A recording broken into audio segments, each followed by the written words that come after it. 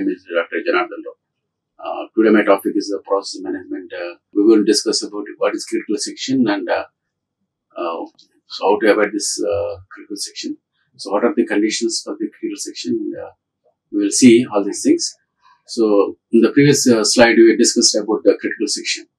The critical section is no two processes should try to enter into the shared area. That is maybe memory or uh, CPU. Something. So to avoid this one, we write a program and uh, we keep in the OS. Then OS will uh, streamline these processes. Which process would enter into the um, shared area, and we'll see. This is a simple program.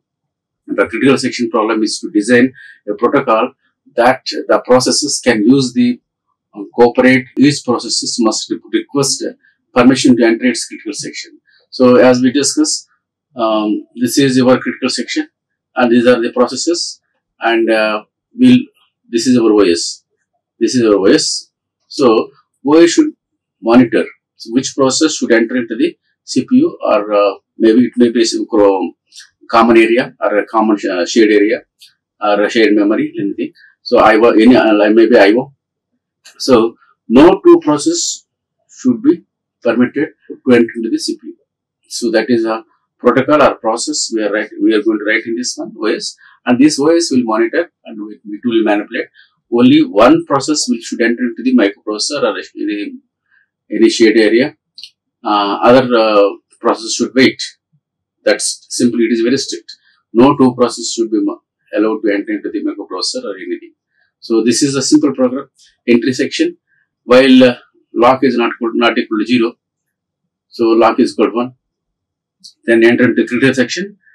Then do the operation in the critical section and uh, exit section. This is exit section and uh, make the lock zero. So this is a um, simple uh, concept of this uh, how to manipulate this uh, critical section.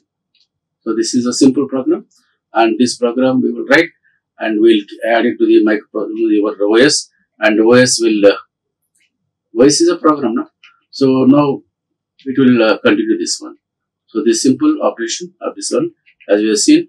So in this above uh, pseudo code, there are three sections, three parts you can say, three parts in the in this code entry section, critical section, and exit section. So initially the value of lock value is zero. The process which needs to get into the critical section enters into uh, in- inter- intersection and uh, checks the condition, then provide in the while loop. The sense it will continue in the while loop. So other process will also check it whether it is uh, free or not. Then lock one, they enter into the critical section, and uh, after completion of that, that one that program or uh, operation, then exit, exit section, then again make the lock zero. This is a while loop continue till the program is completed. That uh, the complete uh, program is complete to be completed in this one. So a solution to the critical section problem must satisfy the following three following these requirements. As you can see, mutual exclusion, progress, bounded, bounded waiting, portability. Out of the four parameters, mutual exclusion and progress must progress must be provided by any solution. Let's see analyze the mechanism and on the basis of this above mentioned conditions. So you have seen just look at this diagram. So requirement for, for synchronization mechanism. Synchronization that means so only one process should enter the microprocessor after completion of this one. So another another process will enter into this one. So soon after this is vacating this micro uh, uh, critical section, other process should enter. That's what synchronization. Synchron- synchronization that is called. Synchronization means only when one process is leaving the critical section, other process will enter. So that's so- soon after it leaves that one. So mutual exclusion. Just you see, this is a diagram, critical section. This is a critical section, and uh, these are the processes. Just you see example. So we should not allow all the process to enter into the critical section. This is wrong, and this is right. So at a time, one process will enter into the critical, critical section, and it will it will uh, execute its, its uh, operation. Then soon after it leaves, then other will enter in this one. This is what uh, uh, mutual exclusion between the mutual understanding between the processes. So, if you look at this one, so our um, solution must provide a mutual exclusion.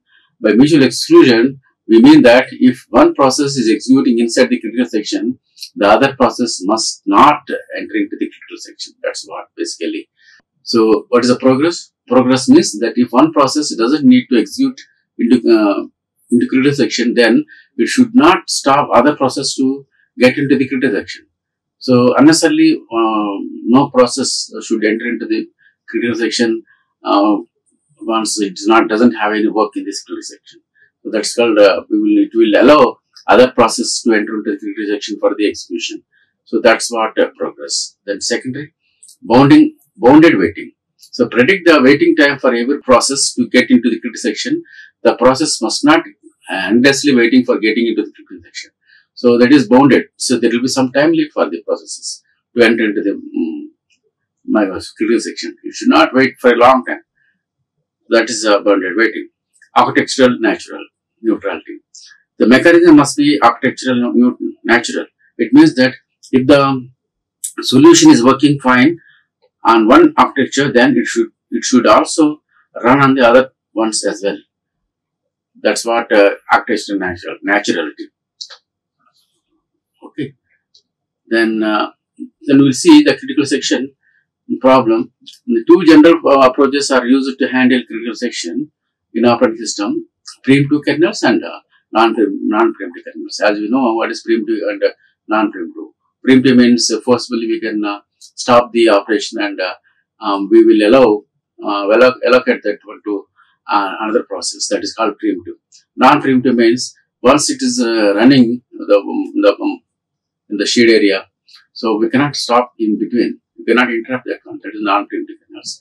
A preemptive kernel allows process to be preempted while it is running in kernel mode. That's what I'm telling. Preemptive means forcefully you can stop, uh, you can interrupt and uh, we allow allocate to some other process that is uh, forcefully. That is called preemptive. So non-preemptive kernel doesn't allow a process running in kernel kernel mode to, to be preemptive. A kernel mode process will run until ex exists kernel mode blocks are voluntarily will control of the CPU. We cannot stop in between once we allocate the CPU to the process. So till the completion or terminated, the process will not come from the kernel. That's called non-preemptive. So we'll we got some uh, solutions, solutions from the experts. That Peterson solution. Uh, Peterson solution provides a good algorithmic description of solving the critical section problem and illustrates some of the complexities involved in the designing software that address the requirement of mutual exclusion, progress and bound waiting, bounded waiting. These are the conditions for the critical section. We can solve this out of these three, mutual exclusion, progress and bounded waiting, then definitely uh, the critical section problem will be solved. So this is a simple sort of pseudocode for the uh, Peterson solution to flag equal to, flag i equal to 0, flag i equal to 0, that is true, turn j. So while flag j and turn equal to j, then enter into critical section. So flag then make the flag i equal false. Then remainder in critical section while true. So this is the Peterson solution. Um, so once the um, flag is uh, zero means it means that uh, critical section is free.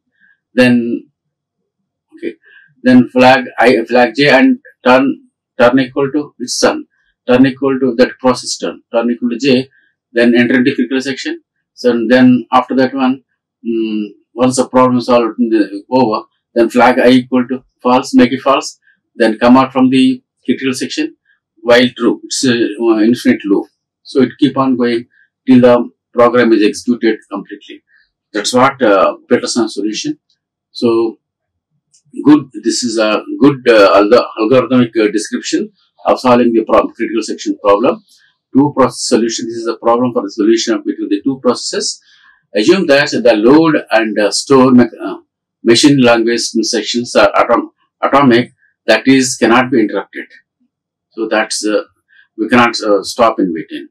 the two processes here, two variables, in turn, int turn, boolean flag, boolean flag of 2.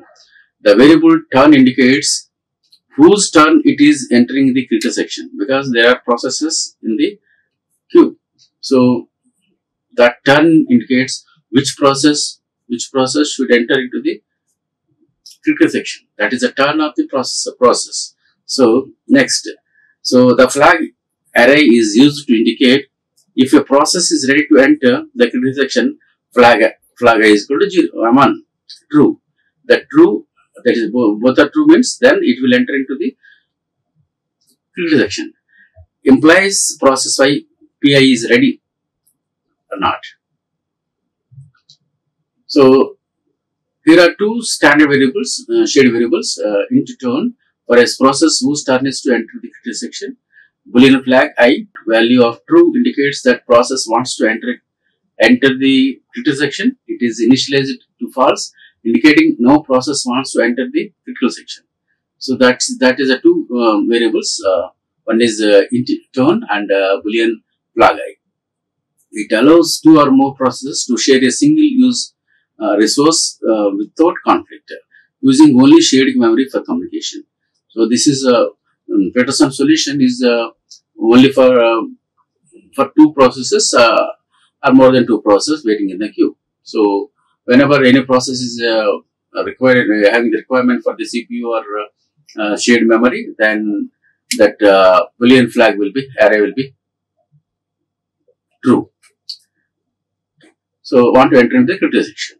So disadvantage of the critical this Peterson solution. So Peterson solution is limited to two processes. It involves busy waiting.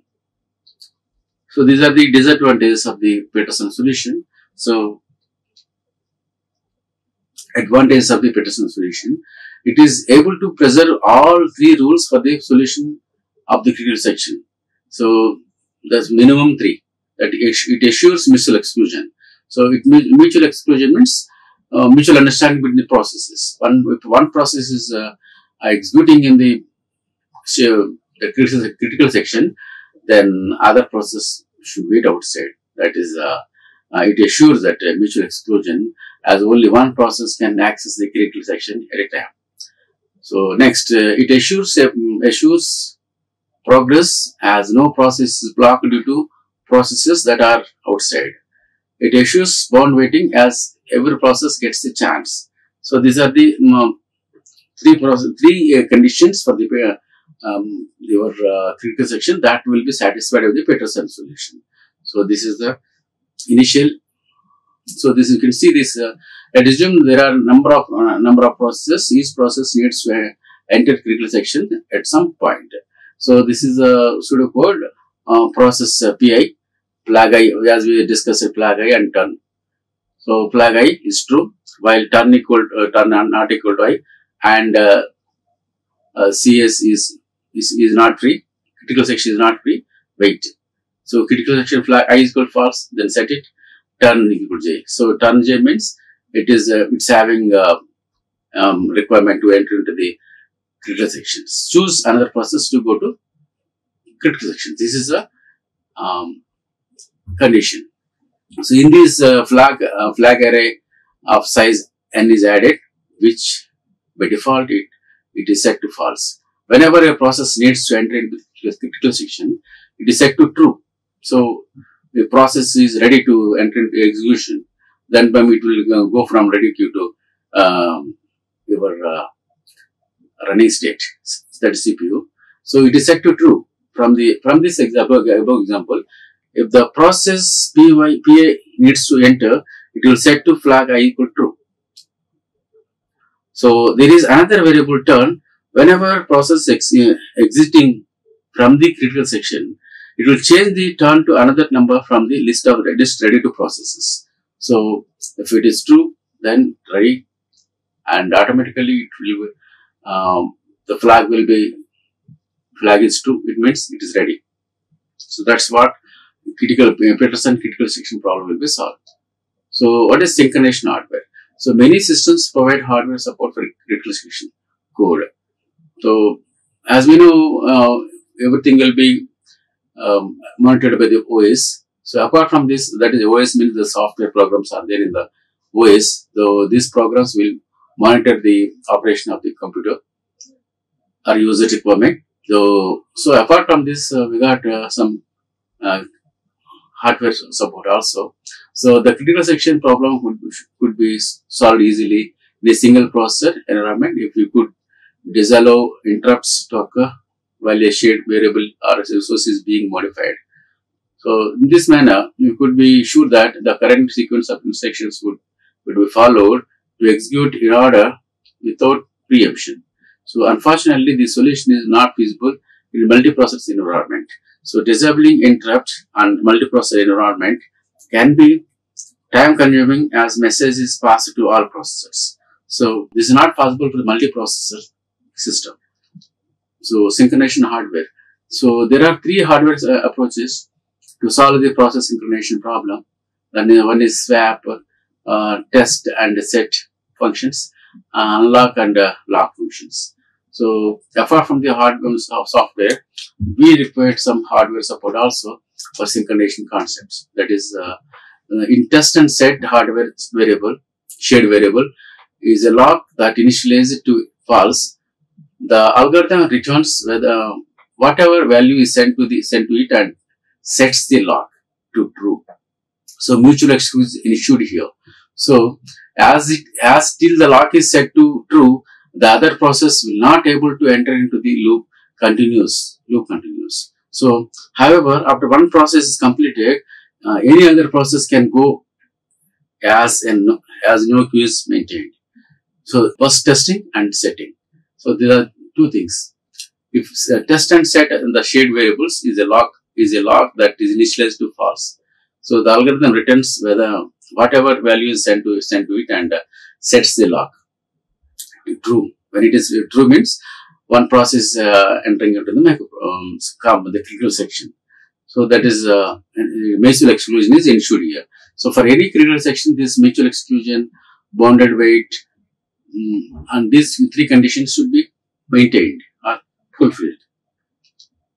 So what next one is swap. Uh, in this algorithm, instead of directly uh, setting the lock to true, the key is first set to set to true and then swapped with the lock. So similar to test and set, when uh, there are there are no processes in the critical section, the lock turns to false and allows other process to enter. So hence mutual exclusion and progress are ensured, but the bond wait is not ensured, but the, the very same reason. So here, as we have seen, there are two things, two things, lock and uh, unlock. One once lock is there means one process is there, and uh, then process will enter into the critical section. Lock is uh, maintained. Lock is maintained there. So till the time it comes out, then other process uh, will wait in the queue. Once the process is coming out from the critical section, then it will be unlocked. Then other process will go so by watching the unlock, other process will enter. Again, it will lock. So that's what uh, in this algorithm, instead of directly setting the lock to true, the key is first set to true and the swap swap with the lock. This is uh, swap technology, swap technique. So unlock and lock. In addition to the test and set, the algorithm uses waiting I and check if there are any process in the wait. The process are set in the ready queue with the, with the respect to the critical section. So unlike the previous algorithm, it doesn't set the lock to false and checks the ready queue for any waiting process. If there are no wait, um, processes waiting in the ready queue, the lock is then set to false and set false and any process can enter. So here the lock is uh, set to false. So then uh, nobody is in the um, critical section. So you can enter. So after that one, once it is again, it will be false or false to true. So this is uh, uh, unlock and lock. So so we'll see what is semaphore. This is uh, another uh, technique, uh, force. So which maintains um, the critical section problem, which solves this critical section problem. A semaphore is a more generalized form of the lock of a lock that can be used to regulate traffic in a critical section or to order code execution. So anything that uh, what are the uh, things we are doing. So all these things are meant uh, to control the critical section. It means it means synchronization of the processes. That one process will enter into the micro, shared memory or critical section, and uh, other process will be waiting. So other process when the um, first process completes and comes out soon after, uh, second process which is in the waiting that will enter into the processor or uh, shared memory. So this is, there are two things, lock and unlock. Once lock is there means, so no other process can enter into the critical section. So till, till lock is there. Once lock is unlocked, so it means that the what are the processes executing the critical section that comes out and it will unlock. So one unlock is there, the other process which are waiting, they can they will watch it and uh, it will enter into the critical section. That's what. So the semaphore is another technique. They were invented by the renowned computer scientist Dijkstra in 1965.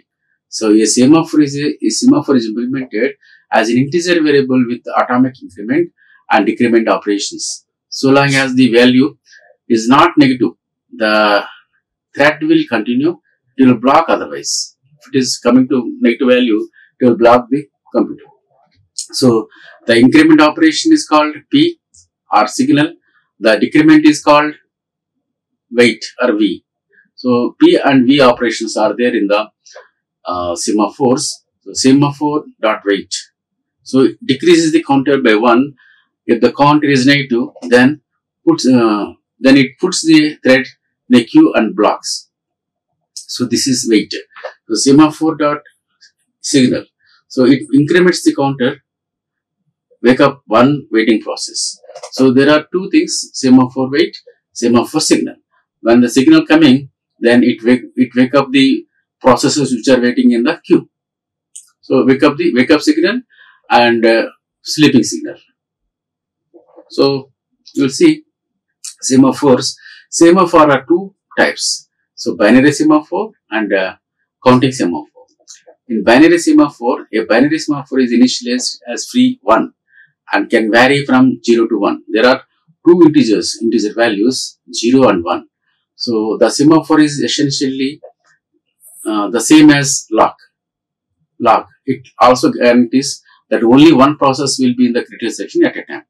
Anytime, only one process is allowed in the critical section for execution.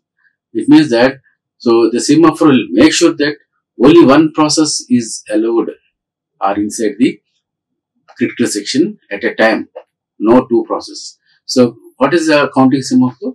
The counting semaphores can be considered as a pool of permits. A thread user waits for operation to request permit. If the pool is empty, the thread waits until a permit comes available, becomes available. A thread uses single operation to, uh, to return to permit to the pool. A counting semaphore can take any initial value. So first look at two operations that can be used um, to access the change of value of the semaphore. So in this operation, some point of some point uh, regarding P and V operations. So P operation is also called wait, sleep, or down operation, and V operation is called signal, wake up, or up operation. So in, if you look at this one, um, P semaphore dot uh, semaphore is while s equal to 0 it means waiting waiting and waiting until until s is equal to 0 if decrement operation. S is equal to s minus 1 decrement operation. Note that that uh, that there is semicolon after while the code gets struck. So hence while is while is s is a 0 so so v operation this is v operation. That is uh, v operation and P operation. Both operations are atomic and the semaphore phrase is always initialized to 1. Here, atomic means that variable on which read modify, which read, modify and update happens at the same time, same moment with no uh, preemption. That is, in between read and modify the update other, other, no other operation is performed. That may be change the variable. So here, a critical section is surround, uh, surrounded by both operations to implement process synchronization. See the below image, then we can understand that one. Some you'll see that one. So semaphore, semaphore implementation must guarantee that no pro two processes can execute wait um, with the two process wait and signal on the same semaphore at the same time. Thus, implementation becomes a critical section problem where the wait and uh, wait and signal are code are placed in the critical section. Note that applications may spend lots of time in critical sections and uh, therefore it, uh, this is not a good solution. With each each semaphore there is one there is an associated waiting queue. Each entry in a waiting queue has two data items: value, a type of integer, uh, pointer to next record in the list. Two operations: block and wake up. Place the process process invoking the operation on the appropriate waiting queue. So wake up means remove one process in the waiting queue and place in the ready queue for the operation and for entering into the critical section. So here uh, waiting and waking, waking up, waking up and signal. Signal one signal means this signal is going to wake up the process. So it means that the critical section is ready now. So one of the process which is sleeping or waiting, so that will be which is having the priority and all. So as per the priority, that process will be sent to the critical section for the operation. So it is uh, wait and signal. Two things are there. Wait means it is a criti critical section is not free. It means that process cannot enter. The process will be sleeping, uh, the sleeping mode. So soon after the process is uh, coming out from the critical section, the signal will go and wake up the processes to enter into the critical section. That's what uh, how we can achieve the mutual exclusion from this one and progress and bounded waiting. So this is simple uh, coding implementation of signal, implementation of wait. Signal semaphore and uh, S is called uh, incrementing that uh, signal is going. Okay. Then remove the process from P and uh, wake up wake up signal. So this is implementation wait. So that semaphore decrementing the value integer 0 then process list block if it is minus. So classic problems of the synchronization we will see um, by using this synchronization these semaphores how we can um, there are some classic uh, examples or problems some of the classical problems depicting the class of process synchronization system where cooperation processes are present. So bounded buffer problem, bounded buffer problem, readers and writers problem, dining philosopher problem. These are the classic uh, problems for the um, semaphores using the semaphores. So this is uh, this is the main three problem occur. The problem is in synchronization. So these are these problems solved by using the semaphore variable. Semaphore variable and we will see uh, one by one with examples. So this is uh, um, reference books what uh, we have taken the material from uh, Andrews uh, Tanenbaum and uh, uh, Dhamdhere operating systems concepts based on based approach. So these are the two uh, reference books, and we will continue uh, the concept uh, in the next session of these classic problems we will discuss these classic problems in the next class. All this bounded buffer, reader, readers and writers problem, dining philosopher problem. We'll discuss. Like, share and subscribe. Hit the bell icon for more updates.